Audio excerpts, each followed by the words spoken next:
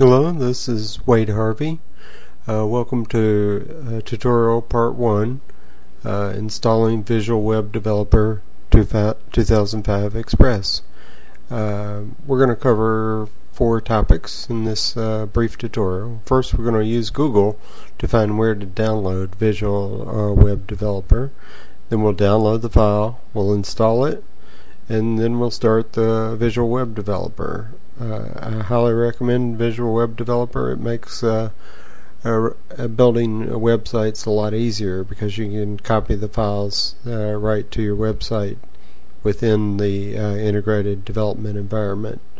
It's a very nice uh, uh, tool. Thanks. Okay, I like to go to Google to find where to download Visual Web Developer you're downloading it from Microsoft Development uh, Network MSDN, but uh, that uh, location frequently changes, so I like to find it through searching on this uh, download Visual Web Developer 2005 on Google. When you do that, you get a listing, and you're searching for one that says download. You'll eventually find it by clicking on any of these uh, because they all point to MSDN eventually. This one here that says download has it right there on the page. So we go there. And this is Microsoft Express Editions. There's uh, with uh, Visual Web Developer, you're working in Visual Basic Language, and uh, you also get C Sharp. You have other languages, uh, uh, Express languages available. Express just means it's totally free, no uh, strings attached. You select your language, and then you uh, download the file. Um, with the Visual Studio itself, if you buy that, uh, then you get all these express languages, or all the languages supported by Visual uh, Studio all in one. But uh, so I'm opening up the file after I downloaded it.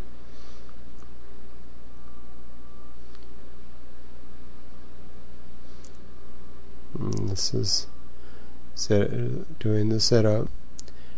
But uh, with Visual Studio, you get all, all the languages, and with the Express editions, you do have to do one at a time. But uh, they're well worth the the free uh. So I'm going to pause now while this uh, finishes the setup here. Okay, finally reached the setup uh, window. Uh, took about a minute or two. Then we click yes uh, if you want to send uh, your experiences to Microsoft. And you click I accept the terms. And then it's going to install it here in Visual Studio 8.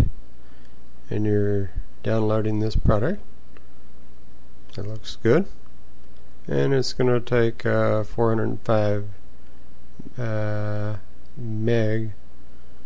The download size is just 40 meg. Not sure why there's a big difference. And then we start the download install.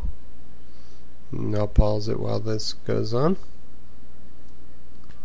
Okay, it completed. The reason why uh, it was 40 meg versus uh, 405 meg is uh, downloading a, a, zip file and it expands it to 405. So it says um, you must register your software within 30 days. So you click here to register now. That'll give you a, a code that you'll paste in under help register. So I'll do that now and pause it while I do it. Okay, so now I have the code and uh, I can click on exit. The next thing we'll do is uh, start Visual Web Developer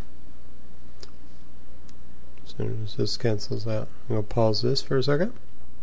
Okay, so now to start Visual Web Developer, we go to Start, click on All Programs, then over here at the bottom, uh, most recently installed, you got a little world inside of a green screen, Microsoft Visual Web Developer. Click on that. It'll start up. This is your integrated uh, development environment. This is your designer screen.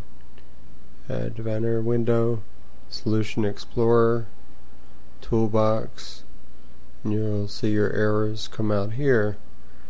But uh, to start a new project, you just click on File, and you can click on New Website or New Project, uh, New File.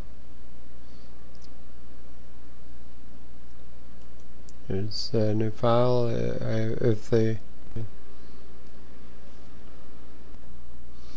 okay, let's look at uh, new website. New file is uh, if it hasn't already been built uh, and you're just trying to get it off your hard drive. Uh, new website is for when you have a website that's already been built in the. It's usually in the IIS uh, Internet Information Services uh, web server. So uh, now I've clicked on uh, File New Website to see what we have here. This is uh, all that's needed to install and get uh, Visual Web Developer running. These are some of the sites that I've already built.